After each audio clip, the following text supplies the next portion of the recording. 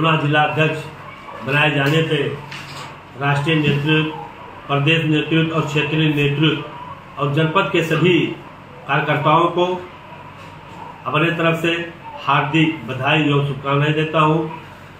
क्योंकि तो राष्ट्रीय नेतृत्व प्रदेश नेतृत्व, क्षेत्रीय नेतृत्व ने जो मुझे, हमारे ऊपर विश्वास किया है, मैं निरंतर संगठन को आगे बढ़ाने का काम करूँगा। बहुत बहुत धन्यवाद।